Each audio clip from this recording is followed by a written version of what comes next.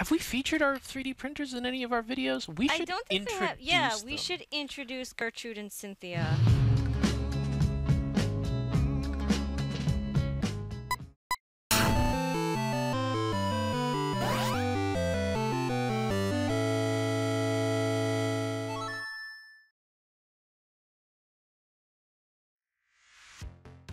So, Synthia, that is our Monoprice printer. That was the first one that I got for Erin for Christmas. It was on the low end of the price scale, but it turned out to be a really good A good starter printer. good starter printer. Synthia is noisy as hell.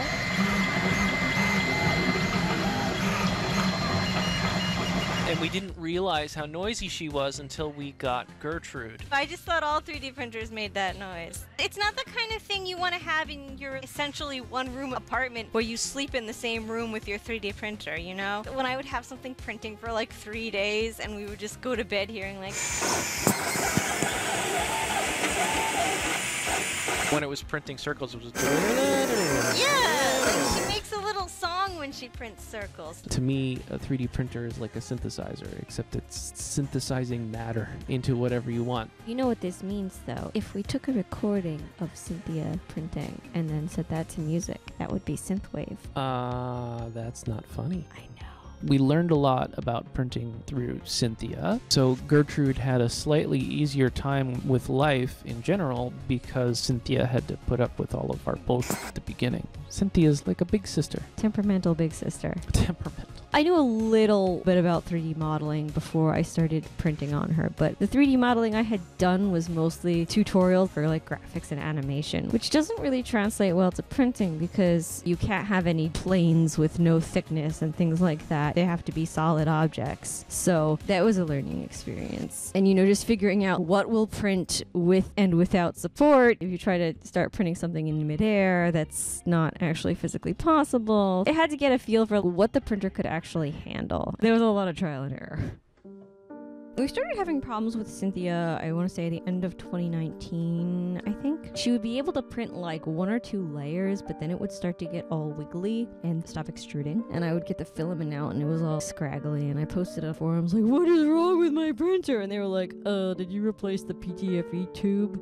Which was not the problem. We kept assuming that the problem was somewhere in the extruder because the filament wasn't advancing the way it was supposed to, and we kept thinking it was a mechanical problem. We had replaced the stepper motor, we replaced the gear, we replaced everything else, and nothing was working. When we would advance the extruder, if you watched closely what the machine was doing, it was rotating part way and then it would either stop or even back up a little bit. We completely replaced the motor, and the new motor had the exact same problem that the old one did. So I'm thinking, all right, this has got to be something with the supply voltage to the motor that's causing the problem. In order to understand the problem, I should probably cover a little bit about how a stepper motor actually works. Since I'm not particularly qualified on that subject, I will instead refer you to an amazing YouTuber known as GreatScott who created the very same video that I used to understand the problem. The Cliff Notes version goes something like this. Inside the stepper motor, used by Synthia and 3D printers in general, there is a core that is basically just a bar magnet. There are four pins on the stepper motor that go to two separate sets of coils that produce a magnetic field inside of the core. You can pass current through the coils in either direction, so by changing the direction of the current through the coils, you can change the polarity of the magnetic field and thus change the orientation of the magnets that make up the core of the motor. This is beneficial for 3D printers since the movement of the motors needs to be very precise and controlled. One of the nice features of stepper motors is that if you maintain a current through the coils, the position of the motor will remain static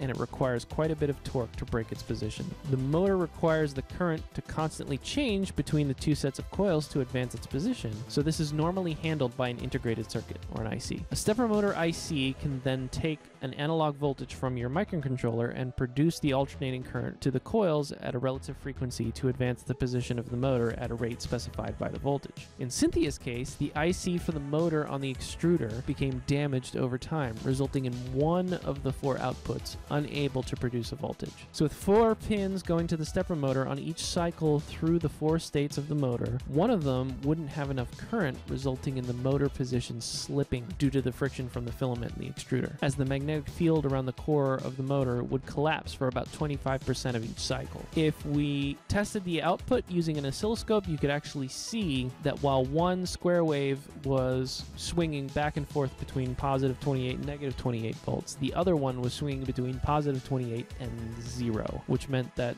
the reverse current through the second set of coils was never getting activated, and thus it was losing power on 25% of each cycle. It was the chip itself that was damaged. So once we figured out it was the chip, I was able to look up the part number and find a bunch more of those chips for real cheap. And so I bought a handful of them because I knew I was going to screw it up a bunch and tried my hand at surface mount soldering for the first time which was a nightmare. It took me a couple tries. I think I went through like two or three of them before I got it right.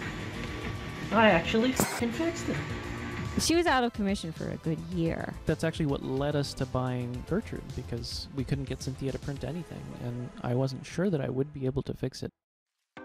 Gertrude was named after a few different fictional characters. The one I usually refer to is the title character of a computer game called Gertrude's Secrets, which I played as a kid a very long time ago. It's also the origin of the symbol on the cover that I made for her, because the original cover on the 3D printing head was not ideal for 3D printing. I think it lasted about a day before I got a giant blob of doom and had to dismantle the whole thing to clean it out. So after that, I designed a cover that would actually allow me to access the parts that I needed to service on a regular basis. So Gertrude is a little faster, much quieter, and much more photogenic, which is why we have Gertrude set up with the time lapse camera. She can also do laser engraving and CNC work. So we got that terminal. Oh, oh. She's printing. Octoprint is basically 3D printing software designed for Raspberry Pi. To install it on my desktop computer, which is running Windows, it was a bit of a convoluted process, but I got it to run on Windows somehow. We set that up so that we could record time lapses with Jeremy's GoPro, and that was also a learning experience. First of all, because we had to set up the whole thing, and then figuring out how to get the time lapse to work, and the printer, and the webcam, and the computer all to talk to each other. So the GoPro connects to the computer using a USB 2.0 to HDMI adapter, and we built a little jig, which is both a mount for the camera and also a little lamp jig thing. I took the top of the desk lamp off and stuck it inside of some electrical conduit, which we bolted to the desk. And then, Jeremy, you actually figured out that the software that you wrote for your job, you could use it to communicate with Gertrude. What? It's just a serial port. The program that I wrote for work is just a terminal program with a bunch of extra bells and whistles. You should ask what the temperature is. Uh, how do you do that? I don't know. Report temperature. M105. There you go. So, advice to people who are thinking of getting into 3D printing, are curious about 3D printing. 3D printers are still very much an emerging technology. Year after year, I think they get better and better, but there's lots of room for improvement. You end up having to learn a lot about how the printer works and how the filament works, How shapes work, how shapes how work. geometry works, how math works. My advice for 3D printing is the same as my advice for getting into anything else. Look at what other people are doing and try to break it down and take it apart and poke around and analyze how they did it. That will give you a better idea of how everything goes together. Expect to fail a lot. Sometimes it reminds me a little bit of when my grandmother would do enamels. She would do glass on metal enameling, usually copper, and she wouldn't always know if something would get burned out in the kiln or how the different materials would react. So sometimes it was a surprise seeing what came out. To some extent, I think some of the three dimensional media that I've been working in with and with resin to some extent have that element of being a little bit chaotic. And if you look at it as if it's successful, that's a pleasant surprise, then you won't be disappointed as much.